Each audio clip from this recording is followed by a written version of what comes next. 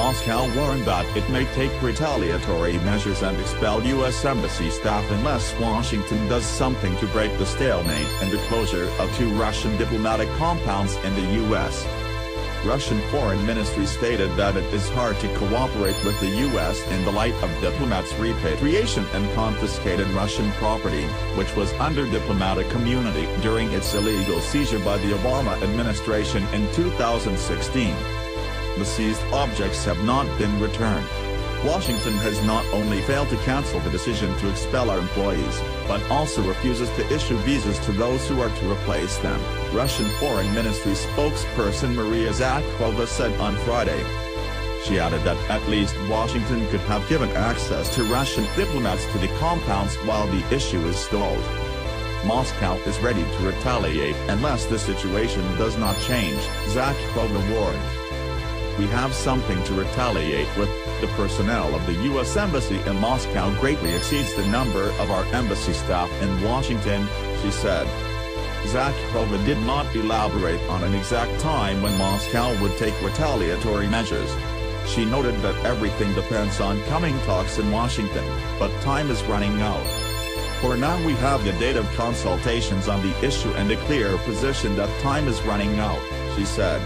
She added that Moscow did not react immediately as it considered the move of the Obama administration as provocative and an attempt to disrupt bilateral relations under the new authorities.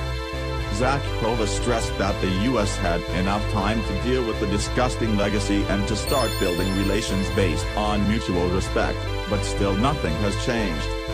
Read more, Russian FM proposes expulsion of 35 U.S. diplomats and sanctions tit for tat. It's been half a year, but we do not see concrete steps. However, nothing impedes the new administration from showing independence and doing it.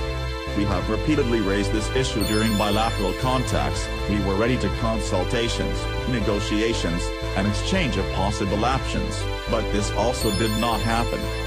The statement came on the heels of U.S. President Trump's assistant, Sebastian Gorka, who said in an interview that the compounds may be handed back to Russia if the U.S. sees acts of good faith from the Kremlin, similar to the recently brokered ceasefire in Syria.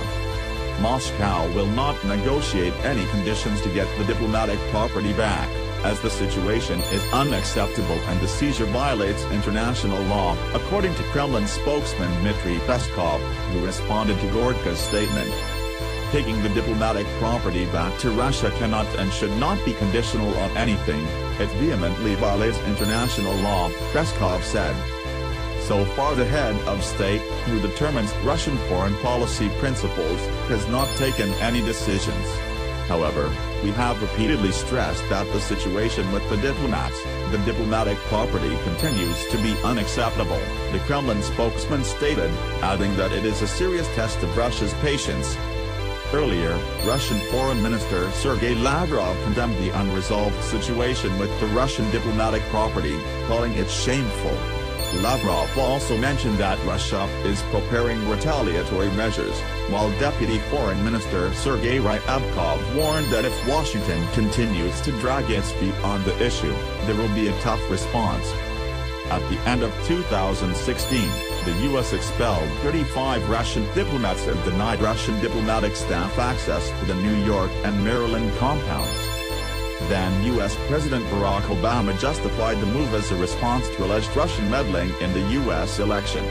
Denying the allegations, Moscow was outraged with the situation, as it believes the property had diplomatic immunity and was thus confiscated in violation of the 1961 Vienna Convention on Diplomatic Relations.